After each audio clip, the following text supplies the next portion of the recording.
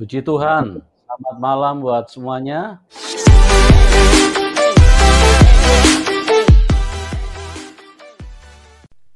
Sebelum kalian tonton video ini, pastikan kalian sudah subscribe ya guys, karena subscribe itu gratis. Selamat Bagaimana nonton, setan bisa enjoy. mendapatkan kesempatan?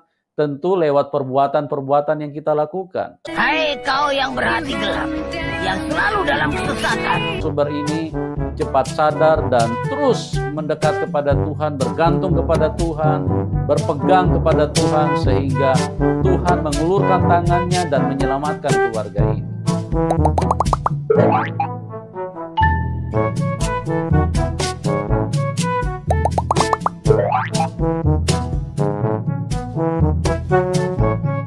Baiklah, saya akan memperkenalkan diri saya.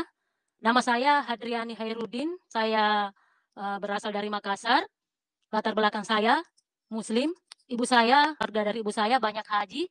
Terus eh, bapak saya itu seorang guru. Kalau bapak saya itu banyak orang yang berguru kepadanya. eh, ber- beberapa kampung itu banyak berguru eh, di bapak saya dan katanya katanya eh, perguruan bapak saya menurut dia itu hanya bisa menyelamatkan kita dan bisa masuk surga seperti itu ceritanya.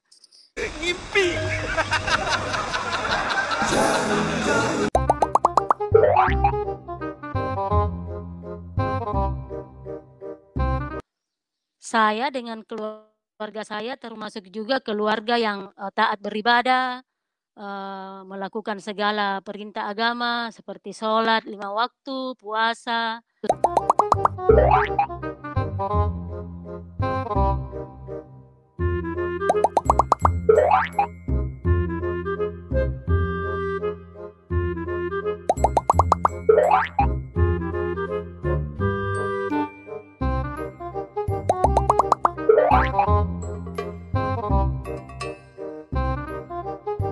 saya kecil itu saya juga rajin mengaji.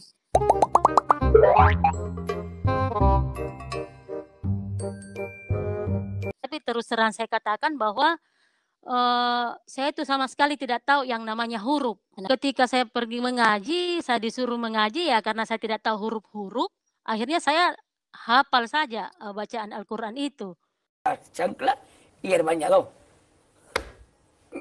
Voy a la playa, ya subió la marea.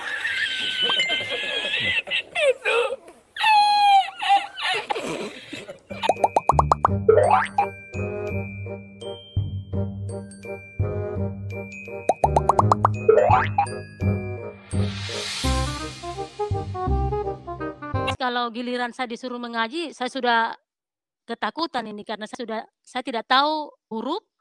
Eh, ketakutan itu lebih banyak. Jadi akhirnya ya kadang saya tidak bisa membaca karena saya tidak hafal juga. Jadi ya Chancla y el bañador. Voy a la playa, ya subió la marea.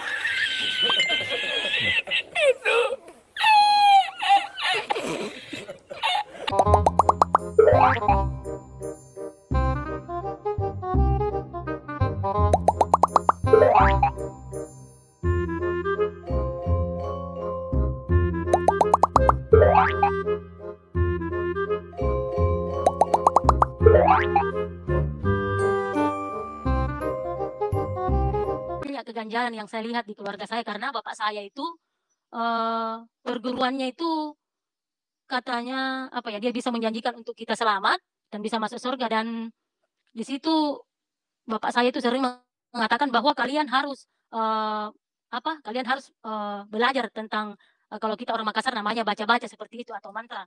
Atau mantra. Atau mantra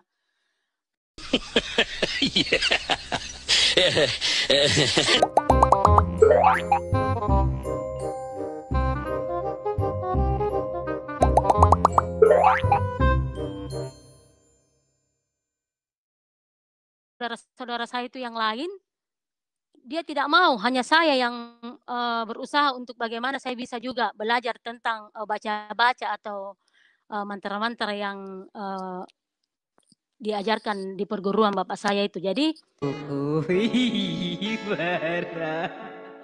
Dino, Dino,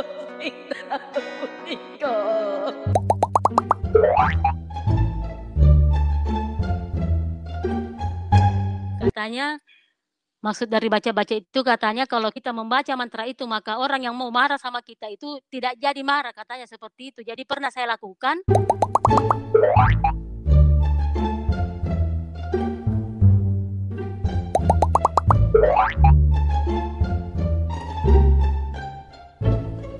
Tiap hari saya pergi, jadi mungkin tetangga saya itu ada rasa iri.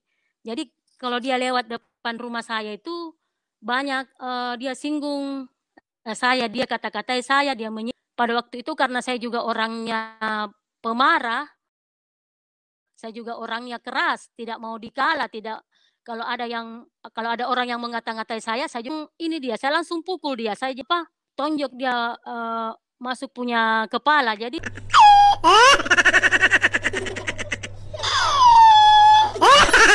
baca-baca atau mantra itu uh, terbukti.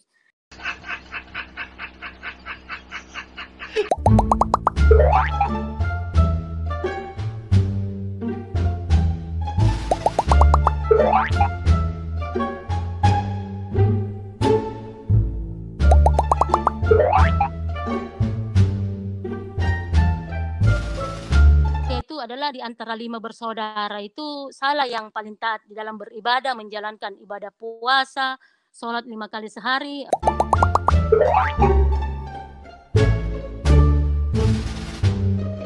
Saya juga uh, sering uh, kalau ada perlombaan MTQ ya, uh, perlombaan MTQ ya, uh,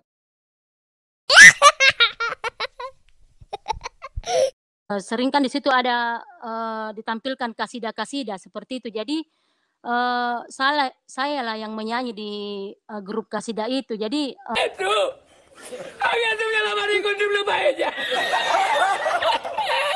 Nama saya di Toraja. Setiap minggunya itu saya bersemangat untuk ke gereja. Uh, gereja itu dekat dari uh, rumah yang saya tempati itu rumahnya uh, tante uh, apa rumahnya tante suami saya.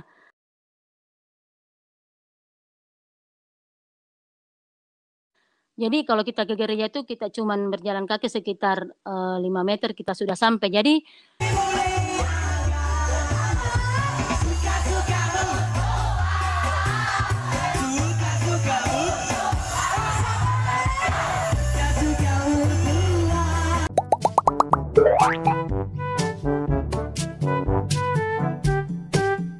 pernah suatu saat saya mimpi, mimpi uh, Mimpi saya itu katanya ada orang yang mau membunuh saya. Dia pakai parang, parang panjang dia membunuh saya. Uh, jadi saya saya katanya lari. Tiba-tiba saya dapat jalan raya. Di jalan raya itu ada mobil lewat, mobil truk. Uh, katanya mobil itu berhenti, saya naik. Tiba-tiba waktu mobil itu berhenti karena orang ini sudah mau tangkap saya untuk saya dibunuh, akhirnya datanglah dari atas saya melihat dari langit Tuhan Yesus turun ke bawah untuk uh, menghampiri saya dan ketika dia datang menghampiri saya saya kaget kok uh, siapa ini? Kok uh, pakaiannya berkilo-kilo putih rambutnya panjang orangnya juga putih. Uh, terus dia bawa saya naik terbang ke atas langit seperti itu di terbang ke atas langit seperti itu di